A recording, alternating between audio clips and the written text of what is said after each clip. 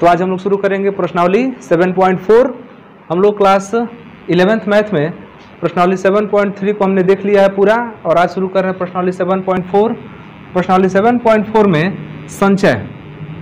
7.4 में हमको क्या पढ़ना है? संचय पढ़ना है। देखिए, यहाँ पर हमने संचय का डेफिनेशन लिखा हुआ है। पहले एक बार हम डेफिनेशन को समझा लेते हैं, फिर इसका एक उदाहरण देखेंगे। देखिए डेफिनेशन ध्यान से देखिए।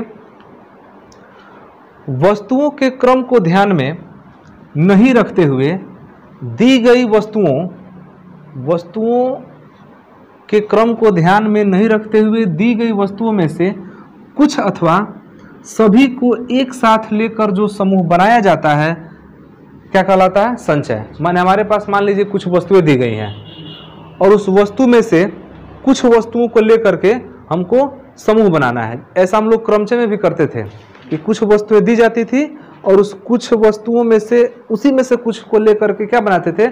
हम समूह बनाते थे। तो वहाँ पर उसी को क्रमचय कहा जाता था। यहाँ पर क्या कहा जा रहा है? संचय। लेकिन एक चीज़ दोनों में अंतर है कि वहाँ पर क्रम को ध्यान में रखा जाता था। यहाँ पर क्रम को ध्यान में नहीं रखा जा रहा है। वहाँ पर क्रम को ध्यान में रखा जाता था। क्रम को ध्यान में रखेंगे तो क्रमचय हो जाएगा। और क्रम को ध्यान में नहीं रखेंगे तो क्या हो जाएगा? संचय। एक उदाहरण के थ्रू हम लोग समझते हैं। जैसे मान लीजिए कि हमारे पास तीन अक्षर हैं, ए, बी और सी। ए, बी और सी, तीन अक्षर हैं। तो इनके हम तीन में से मान लीजिए कि तीन नहीं लेते हैं, चार को ले लेते हैं। ए, बी, सी और डी। ए, बी, सी और डी। इसमें हमको करना क्या है कि इनके क्रम को ध्यान में नहीं रखना है। ध्यान देना, क्रम को ध्यान में नहीं रखना है। या ऐसे कहें कि हम लोग क्रम को ध्यान में रखें। हम पहले क्रमचय बनाते हैं। तो बताइए ए बी सी डी आपके पास चार अक्षर हैं। चार अक्षर में कोई भी तीन अक्षर उठा लेना है। कोई भी तीन अक्षर उठा ले, उठा लेना है। तो आप कितने तरीके से समूह बना सकते हैं? चार हमारे पास टोटल है। इसमें से कितना उठाना है? तीन को ले लेना है। और तीन का लेकर कितना समूह बना सकते हैं? तो हम यहाँ पर लिख रहे हैं। आप बना सकते हैं ए बी सी बना सकते हैं। शुरुआत का भी तो तीन ले सकते हैं। समझ पा रहे नहीं? ए बी सी बना सकते हैं। और क्या बना सकते हैं? बी सी डी भी तो बना सकते हैं। बी सी डी बना सकते हैं। और कौन बना सकते हैं? सी सी डी हाँ। सी डी ए भी बना सकते हैं। सी डी ए बना सकते हैं। और क्या बना सकते हैं? जल्दी बताइए। देखिए। ए बी सी ले लिए हैं ना? A B C B C D ले लिए हैं. ए सी डी ले लिए हैं. अब क्या ले सकते हैं?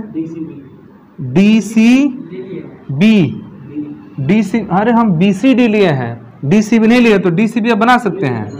हाँ डी सी इसमें क्रम को क्रम को ध्यान में रख तो रहे हैं. यहाँ पर क्रम को ध्यान में रखा गया है. बी सी डी ने बनाए हैं. डी सी बी थोड़ी बनाए हैं. तो यहाँ पर हम क्रम को ध्यान में क्या कर रहे हैं? रख रहे हैं. और क्रम को ध्यान में नहीं रखते ना। तो जानते हैं, एक बार बी सी डी ले लेते तो फिर दोबारा बी सी डी एक साथ नहीं ले सकते हैं। तो यहाँ पर जब क्रम को ध्यान में नहीं रखेंगे तो ये एक ही बार लिखा जाएगा। और क्रम को ध्यान में रखेंगे तो देखिएगा बी पहले है सी बाद में है डी उससे बाद में है। यहाँ पर डी सबसे पहले है, उसके बाद सी है, उसके बाद बी है। भले अक्षर वही है, लेकिन क्रम इसका अलग अलग ना है। तो हम यहाँ पर क्या कर रहे हैं? क्रम को ध्यान दे रहे हैं। और क्रम को ध्यान नहीं देते तो कहते कि दोनों तो एक ही है। नहीं जी? क्रम को ध्यान दे रहे हैं तो हम कह रहे हैं कि दोनों अलग अलग चीज़ बना। एक बी सी डी इसमें बी आगे है, तब सी है, तब डी है। यहाँ पर डी आगे है, तब सी है, तब बी है। तो अंतर नहीं है इसमें। इसमें क्रम को हम ध्यान दे रहे हैं। और क्रम को ध्यान नहीं देते तब? तब इसमें भी बी है, यहाँ भी बी है, इसमें भी सी है, यहाँ भी सी है इसमें भी डी है, यहाँ भी डी है, तब तो बराबर है था। तो हमको जो यह कॉम्बिनेशन बनाना है, संचय बनाना है तो हमको क्रम से कोई मतलब नहीं है। वो एलिमेंट उसमें होना चाहिए। मतलब बी सी डी ले लिए हैं ना तो डी बी सी नहीं ले सकते हैं। सी डी बी नहीं ले सकते हैं, क्योंकि अक्षर तो यही तीन बार है ना, इसको नहीं ले सकते हैं। लेकिन अगर क्रम को ध्यान दिया जाए तो तीनों ले सकते हैं। क्या समझा रहा है? तो अगर क्रम को ध्यान दे रहे हैं तो क्रमचय बनेगा। और क्रम को ध्यान नहीं दे रहे हैं तो क्या बनेगा? संचय बनेगा। कुछ अंतर समझ में आ रहा है? इसी को थोड़ा सा छोटा करते हैं। ए बी सी लीजिए ध्यान से देखिएगा। ए बी सी आ इसमें से दो दो का लेकर के समूह बनाइए तो कितना बना सकते हैं? आपको क्रम भी ध्यान रख रख लेना है। दो दो का लेकर समूह बनाइए। तो एक ए बी हो सकता है बी सी भी हो सकता है सी ए भी हो सकता है। नहीं हो सकता है जी? अच्छा ए बी है तो बी ए भी हो गया। नहीं जी बी सी है तो सी बी भी हो सकता है। सी ए है तो ए सी भी कितना बना? दो ही को लेके बनाना है। अच्छा इसका सूत्र से अगर निकालें तो तीन है। तीन है, इसमें से कोई दो लेके बनाना है तो थ्री पी टू क्रमशः थ्री पी टू तो याद है इसका सूत्र? Factorial three by factorial three minus two माने फैक्टोरियल वन तो फैक्टोरियल थ्री का मान three into two into one बटे फैक्टोरियल वन का मान वन ही होता है। वन से वन कट गया, तीन दुना। छवा नहीं रहा, एक, दो, तीन, चार, पाँच। लेकिन, ती तो बना क्रम चाहे क्योंकि इसमें हमने क्रम को ध्यान दिया है। हमने ए बी लिया है तो क्रम देख रहे हैं, आगे पीछे है। तो यहाँ हमने बी ए भी ले लिया, यहाँ पर हमने क्रम को ध्यान में दिया है। लेकिन अगर क्रम में, क्रम को ध्यान में नहीं रखते तो क्या ए बी ले लेने के बाद से बी ए लेंगे? नहीं लेंगे। क्यों नहीं लेंगे? इसलिए नहीं लेंगे, क्योंकि ए, बी तो ले ही लिए हैं, भले आगे हो चाहे पीछे हो। लिया तो गया है यह तो इसको कहते हैं कि क्रम को ध्यान में नहीं रखना। तो क्रम को ध्यान में नहीं रखेंगे तो ए, बी ले लिए तो बी, ए नहीं ले लेंगे, बी, ए नहीं ले लिए तो ए, बी नहीं लेंगे। और क्रम को ध्यान में अगर रखेंगे तो दोनों ले सकते हैं। तो क्रम इसमें क्या कर रहा है? संचय में क्या किया जा रहा है? कि वस्तुओं के क्रम को ध्यान में नहीं रखते हुए हमको क्रम को ध्यान में नहीं रखना है। ए बी ले लिए तो दोबारा ए बी नहीं लेना है। अब कोई कहे कि नहीं बी ए नहीं ले सकते हैं तो नहीं ले सकते क्योंकि बी और ए तो हमने ले ही लिया इसमें। आगे पीछे से मतलब नहीं है, हमको क्रम से मतलब नहीं है। तो कितना हुआ? छः हुआ ना? लेकिन अगर कोई पूछे कि इसका संचय बनाइए तो? संचय। संचय कितना बना सकते हैं? तो ध्यान दीजिएगा, संचय कितना बनेगा? संचय में एक ए बी बन सकता है एक बी सी बन सकता है और एक ए सी बन सकता है। ए सी चाहे सी है, इससे ज़्यादा नहीं बनेगा। तो यहाँ पर क्रम को ध्यान में नहीं रखा गया है। अक्रम को ध्यान में रखेंगे तो कहेंगे कि यह आगे ए है, पीछे बी है, अगला बार में बी आगे रहेगा ए पीछे रहेगा। क्रम को देख रहे हैं। अभी क्रम को नहीं देख रहे हैं तो कितना बना? तीन। तो क्रम को नहीं देखेंगे, क्रम का ध्यान नहीं रखेंगे, तब जो समूह बनाएँगे, वो संचय कहलाएगा। क्रम को ध्यान में रख के बनाएँगे, तब जो समूह बनाएँगे, वो क्या कहलाएगा? क्रमचय कहलाएगा। तो क्रमचय का इंग्लिश होता है परम्यूटेशन तो उसको हम पी से दिखाते थे। और संचय का इंग्लिश होता है कॉम्बिनेशन तो इसको हम सी से दिखाएँगे। तो अगर हमारे पास, अगर हमारे पास एन वस्तुएँ हैं, कितनी वस्तुएँ हैं? तो हमारे पास अगर एन वस्तुएँ हैं, और उसमें से आर वस्तुओं को लेकर के हमको अगर संचय बनाना है तो लिखते हैं एन सी आर एन में से आर को लेकर के कॉम्बिनेशन बनाना है, मैंने संचय बनाना है। आ, यही एन वस्तुओं में से आर को लेकर के क्रमचय बनाना होता है तो पी लिखते हैं। तो दोनों में अंतर समझ में आ रहा है? क्रमचय और संचय में क्या मतलब अंतर हो रहा है? क्रमचय में क्रम को ध्यान में रखा जाता है। ए बी लिखे हैं तो बी ए दोबारा लिख सकते हैं, लेकिन संचय में संचय में क्रम को ध्यान में नहीं रखा जाता है। ए बी ले लिए हैं तो फिर बी ए नहीं लेंगे, क्योंकि ए बी में आप ए भी ले लिए हैं और बी भी ले लिए हैं। ये नहीं कहें कि एक आगे है, एक पीछे है। उसको क्रम से कोई लेना देना नहीं है। तो हम लोग को जो पढ़ना है वो एन पी आर नहीं पढ़ना है। हम लोग को पढ़ना है एन सी आर अब इसका एन सी आर का फार्मूला क्या होता है, इसको ध्यान से समझिए। एन सी आर का फार्मूला होता है फैक्टोरियल एन ठीक? जैसे उसमें था, बटे फैक्टोरियल आर तो उसमें भी था लेकिन नीचे इसमें एक चीज़ एक्स्ट्रा जुड़ जाता है फैक्टोरियल एन बटा फैक्टोरियल आर आ यहाँ पर नीचे ही इंटू लिख देते हैं और एक बार एन में से आर घटा लेते हैं। फैक्टोरियल एन माइनस आर पिछलका वाले में यही था फैक्टोरियल एन आ बटा फैक्टोरियल एन माइनस आर यही ना था? आ इसमें एक एक एक्स्ट्रा बढ़ गया है। जैसे देख लीजिए एन पी आर में इस तरह से फार्मूला था। N P R equal to factorial N बटा फैक्टोरियल एन माइनस आर को समझा रहा है? दोनों में थोड़ा सा अंतर है। अब देखिए, अब जो हम शुरुआत में जो उदाहरण लिए थे ए बी सी हमारे पास कुल कितना है? तीन था। तीन कौन था? एक ए था, एक बी था, एक सी था। ए बी सी इसका हमने संचय बनाया था तो तीन ही को संचय आया था। देखते हैं, तीन आ रहा है कि नहीं आ रहा है। इसमें से कितना लेना है? कोई दो ही लेना है। तो आर कितना हम ले लिए? दो। तब एन सी आर का मतलब कि एन के बदले में तीन हो गया। और आर के बदले में दो, आप इसका बनाएँगे तो फैक्टोरियल तीन पहले हो जाएगा ऊपर। और उसके बाद से देखिए एन सी आर तो फैक्टोरियल एन बटा फैक्टोरियल आर न है मतलब फैक्टोरियल टू हो जाएगा। और उसके बाद एक बार घटा देंगे तो फैक्टोरियल कितना हो जाएगा? वन देखिएगा, इसका गुणा कराइए। तीन गुणे दो गुणे एक, आए? फैक्टोरियल दो का तो दो गुणे एक होता है, और फैक्टोरियल वन का मान वन ही होता है। तो दो से दो कट गया। और एक एक करने एक हो जाएगा, एक से एक कट गया। केवल तीन न न बचा। तो तीन तो हम लोग आया ही था। समझ रहे हैं? तो क्रमचय बनाए थे तो छः गो आया था। और संचय बनाए तो? तो दोनों में अंतर समझ में आ रहा है कि क्रमचय, संचय में क्या अंतर है? क्रमचय में हम क्रम को ध्यान दे रहे हैं। और संचय में क्रम को ध्यान नहीं दे रहे हैं। तो ये आपका फार्मूला हो गया। तो इसको लिख लीजिए। हाँ डेफिनेशन लिख ले तो अच्छा रहेगा। तो यहाँ पर हम लोग लिख ले हैं कि यन वस्तुओं में से, यन वस्तुओं में से कितना को लेकर बना रहे हैं? यन वस्तुओं में से आर वस्तुओं को लेकर बनाए गए समूहों की संख्या कौन है? N C R equal to factorial N बटा factorial R into factorial N minus R ये पूरा लिख लीजिए। समझ में आ रहा है ना जी?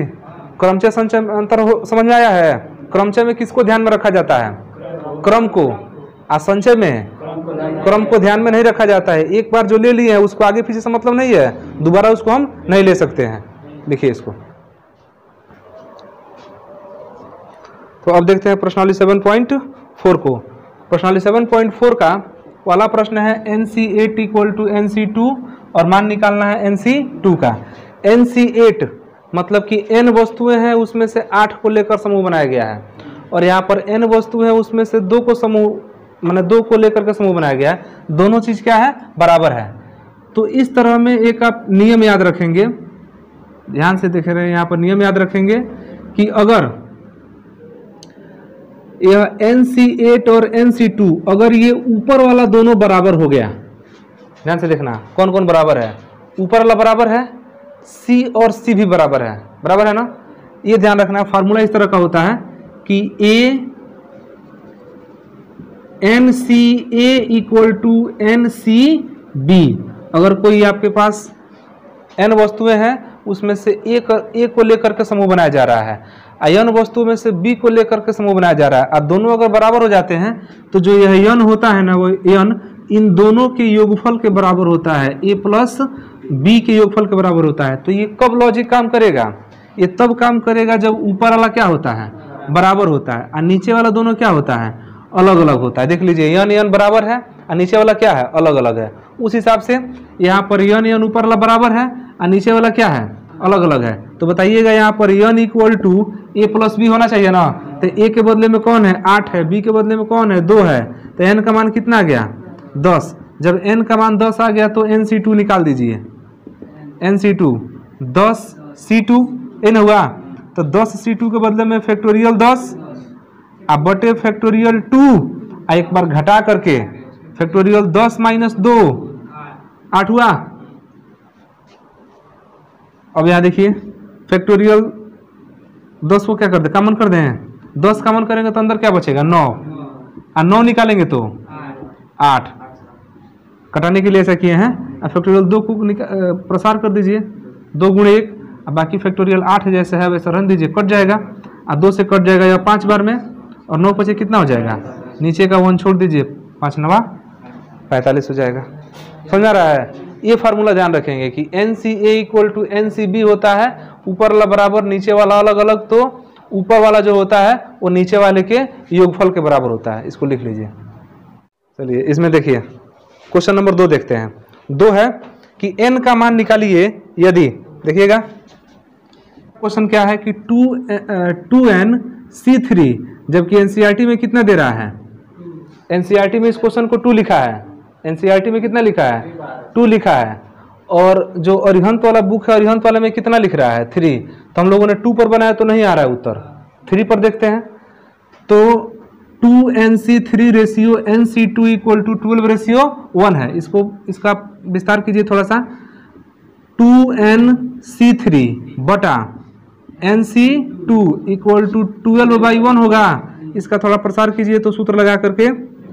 टू एन बटा factorial three factorial two N बटा फैक्टोरियल थ्री एक बार घटा लीजिए। टू एन माइनस थ्री अब पूरा का बटा और नीचे वाला फैक्टोरियल एन बटा फैक्टोरियल टू आ, एक बार घटाएँगे। N minus two equal to केवल ट्वेल्व लिख दिया जाए। आगे देखिए। इसको हम लोग पलट के गुणा कर सकते हैं ना? तो जो ऊपर यहाँ पर देखिए टू एन फैक्टोरियल जो टू एन है, अब बटा फैक्टोरियल थ्री आ two n minus three factorial two n minus three आ गुणा करेंगे तो ये नीचे वाला कहाँ चला जाएगा? ऊपर. तो फैक्टोरियल टू आ फैक्टोरियल एन माइनस टू बटा फैक्टोरियल एन अब बराबर कितना? ट्वेल्व इसमें से कॉमन कीजिए. टू एन कामन करेंगे तो टू एन माइनस वन होगा. आ two n minus one common करेंगे तो? तो अंदर होगा टू एन माइनस टू और फिर से कॉमन करेंगे? टू एन माइनस टू तो अंदर होगा factorial two n minus three. समझ में आया? एक बार टू एन कॉमन करेंगे तो एक एक घट जाएगा, फिर उसको कॉमन करेंगे तो इसमें से एक और घटेगा तो माइनस एक है, फिर माइनस वन होगा तो माइनस टू हो जाएगा, और फिर माइनस टू घटाएँगे तो फिर से कितना हो जाएगा? Minus three. अब बटा थ्री थ्री निकाल दें यहाँ से। थ्री फैक्टोरियल टू कर दें। हाई कट जाएगा यह वाला। थ्री फैक्टोरियल टू कर दे रहे हैं तो अब गुणा। ये तो इधर वाला भी हुआ है। Factorial two n minus two जैसा है वैसा रहने दे रहा है, समझे? और नीचे देखिए एन को कॉमन करेंगे तो एन माइनस वन बचेगा और फिर उसको निकाल देंगे तो क्या बचेगा? N minus two equal to इधर क्या हो रहा है? बारह। कहाँ पर? टू एन माइनस यहाँ पर। अच्छा ये छूटा है। टू एन माइनस थ्री ठीक हो गया ये छूटा था। देखिए, यहाँ से ये कट गया इससे ये कट गया, कट रहा है। अभी और देखिए कटेगा। देखिए, इसमें से टू इसमें से टू कॉमन कीजिए। तो टू कॉमन करेंगे तो बाहर अच्छा यन से यन भी कट गया। यन से यन कट गया। इसमें टू कॉमन कीजिए। टू कॉमन करेंगे टू निकल के बाहर आ जाएगा। फोर और टू एन माइनस वन आइए, बच गया n minus one two common किया है। आ ये भी तो कट गया जी। फैक्टोरियल टू फैक्टोरियल टू नीचे क्या बचा? थ्री बचा। उधर से ऊपर कुछ नहीं बचा। और नीचे बचा?